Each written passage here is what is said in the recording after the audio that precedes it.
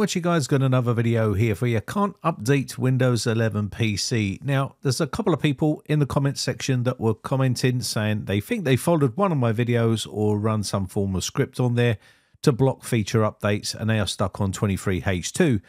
So whatever version of Windows you're on, if you're struggling to update your version of your PC, uh, this is the video for you. I'm going to show you how you can fix and resolve this issue. You can see we're stuck here on 23H2. It's not going to receive any more updates.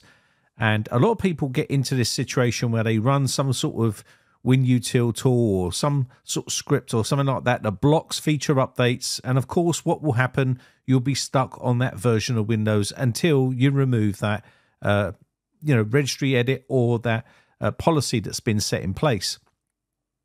There's been quite a few people that have also said that they have tried to update their version of Windows by using the Windows 11 installation assistant and things like that. And what happens is they reboot the PC and it goes straight back into the version of Windows that they're on. It doesn't actually upgrade that version of PC.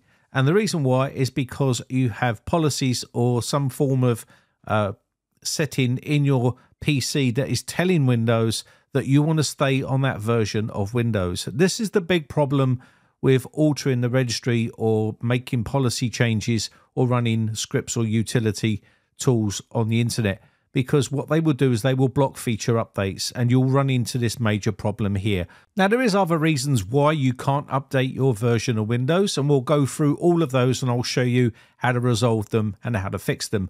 I'm going to quickly speed this up right here and you can see it's now asking me to restart the PC. We've run the Windows 11 uh, installation assistant right here. When I reboot the PC, it's going to come straight back to the version of Windows that we're on right here. And it hasn't upgraded us to the newer version. And the reason for that is because, like I said, we have a policy in place here. But it could be that you have either a corrupt operating system or you don't have enough space on your drive. And we're going to go through all of these in this video and I'll show you exactly how you can fix a lot of these problems uh, on your PC.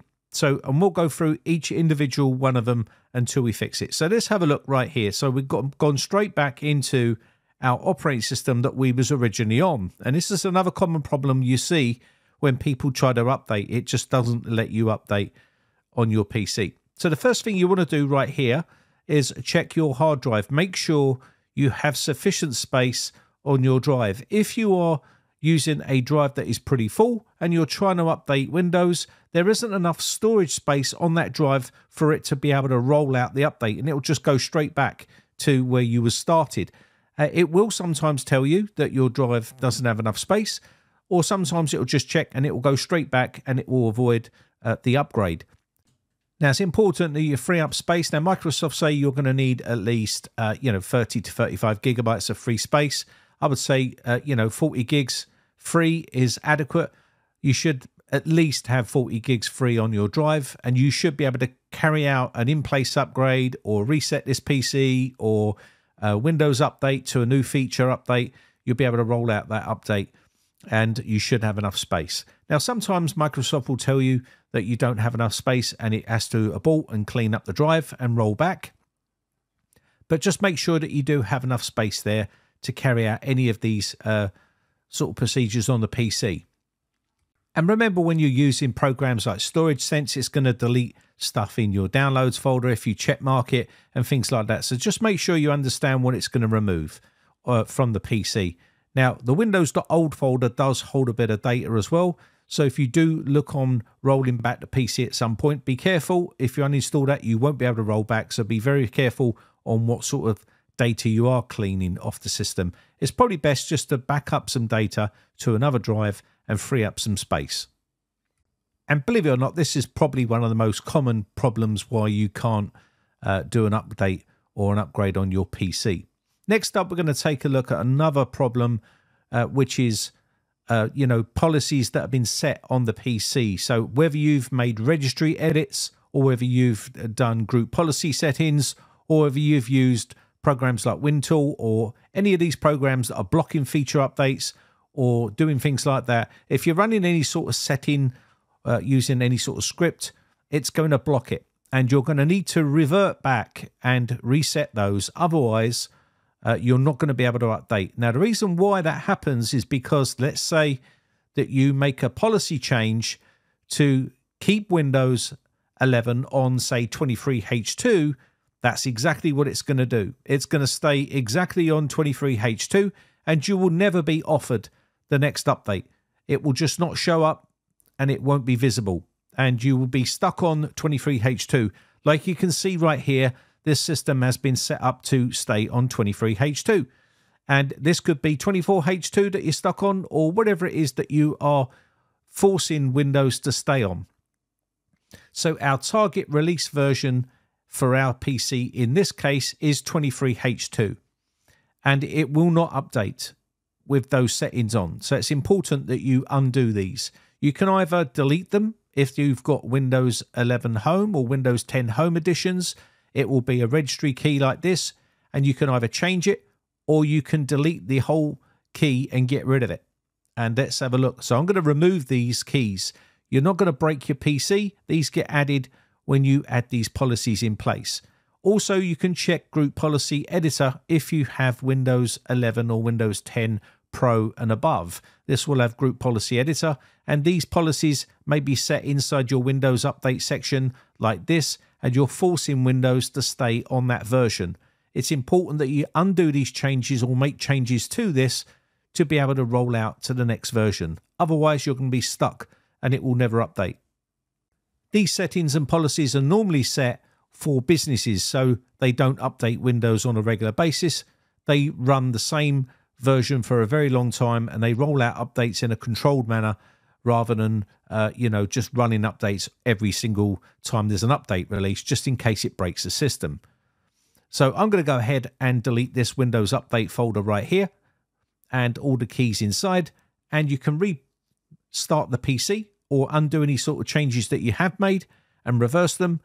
And then once you do that, you should be able to update to the next version of Windows or the next build of Windows, i.e., from 23H2 to 24H2 or 24H2 to 25H2 if you've been uh, freezing that feature update on your system.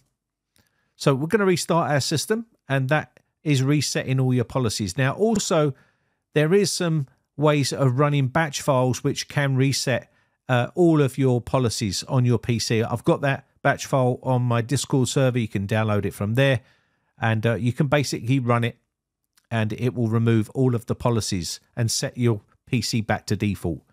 Next, you can see right here, uh, group policies are being reset and also the policies inside the registry are going to be reset as well.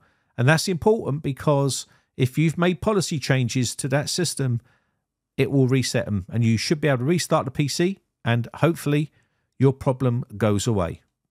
And the reason why I'm laboring that point is because it's a very common problem where people run programs or scripts on the internet and it will block things. And this it makes changes to your system. So make sure you undo all of those. Next, you can reset the Windows Update uh, components Basically, when Windows updates come down, they get put into the software distribution folder on your system. And basically, sometimes they can get corrupted and it will stop the Windows update from working. So you can run a batch file. This batch file is also on my Discord server. People always ask where these files are. They're on the Discord server and they're stored on there. Or they're on my website. You can download them there as well. And you can run these, and what it's going to do is clear out all of that folder and you can do this manually. You can also, uh, you know, remove these files using other applications that are just basically scripts as well. It just depends on how you want to go about doing it, but it's pretty straightforward. What it's going to do is stop some services and then delete the contents in the folder, and then it will basically restart those services again, as you can see it doing right here.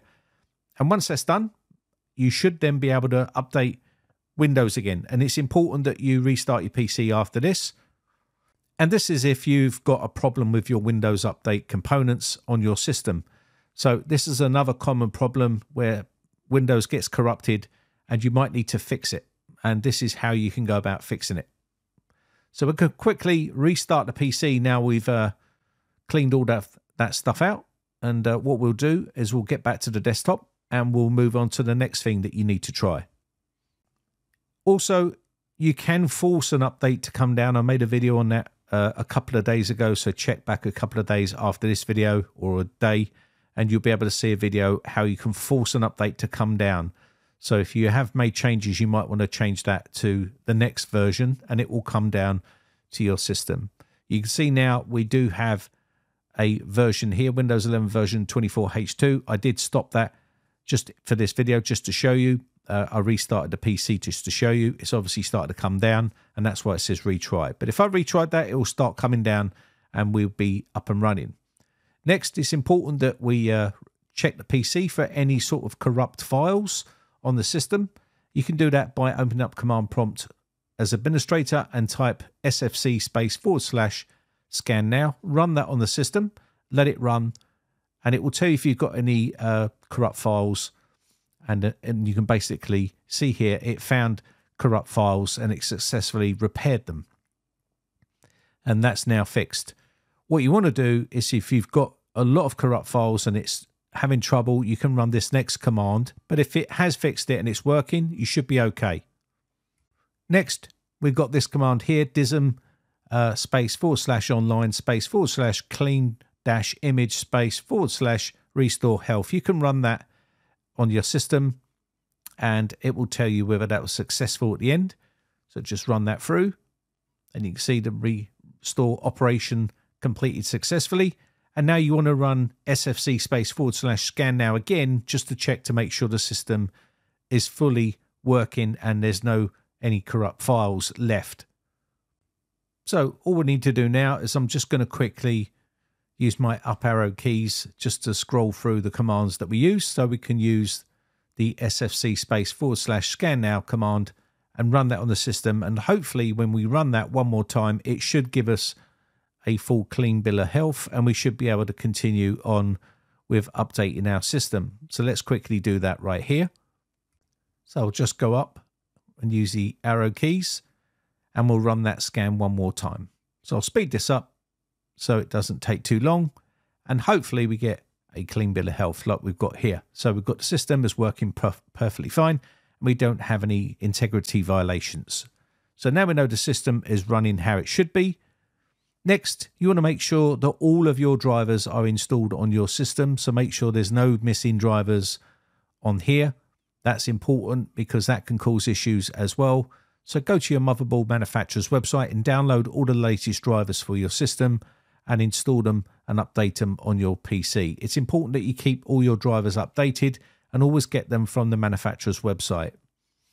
Next is another important one, which is another common problem people are updating Windows on a Wi Fi connection and it's not that stable, and that can cause issues. So, you want to make sure you're using an Ethernet connection if possible, and you're not having any sort of issues with your internet connection, i.e., uh, packet loss or any sort of dropouts in connection and things like that. You can do checks on your status of your network and things like that. I'm not going to go into that too much, but you should always check your network connections because having a stable internet connection is essential for updating Windows because it's going to need to download files. And if it can't download those files during the update process, it's going to back out and uh, not uh, continue with the update. It's that simple. So make sure that you've got good internet connection. And you're not using any form of proxy or dodgy DNS server or anything like that. Next up, there's a couple of areas inside the system and recovery options, and one of them is fix problems without resetting this PC. And this will try that option right here. And you've got fixed problems using the Windows Update. Reinstall your current version of Windows. Your apps, your files, and settings will be preserved. You can try that right here. And there's also a reset this PC option as well, which is the last ditched hope to try and fix any sort of problems that you might be having if you're going down this route, then your operating system is fully corrupted and you've got some form of issue and it might need to be reinstalled. And you can use the reset uh, this PC. And once you've done all that, you should now start to be able to run updates on that PC and they should start to come down and you should have uh, no issues updating your system. And that's basically how you can resolve a lot of these problems. Like I said before, there's many different reasons why Windows updates are not working and it could be all of those ones we've talked about in this video. Now, it's also important that you can go to the Microsoft website where it says download Windows 11 right here. And you can download the Windows 11 installation assistant right here and run this on the system. Or you can do an in-place upgrade using the ISO file. You can download that from uh, their website and you can mount it and then go through the in-place upgrade if you want to do that as well. That should work. Um, but if you've got policies set in place using the Windows 11 uh, assistant, uh, might not work. It will block you. So just make sure you use the in place upgrade. If you've got policies in place and you don't want to release them for some reason, then obviously use that method. But now what we're going to do is go through the Windows 11 installation assistant one more time to see whether this actually works now because hopefully we've fixed and resolved the issues that we've got. So I've run through here, going to quickly restart the PC. And uh, once we restart the PC, hopefully this will start to upgrade this PC from 23H2 to 25H2 because that is the very latest version on their page and that's what version should be installed on this PC now we've run the Windows installation assistant. So you can see right here on the system page, let's go down to the about and we should now see that we're running 25H2. And there we go, we've resolved that issue. That's basically all you need to do. Hopefully this answers all your questions. My name has been Brian from briteccomputers.co.uk. Just want to say a quick shout out to all my YouTube members who have joined my YouTube members group. I appreciate the support and I shall catch you in the next video. Bye for now.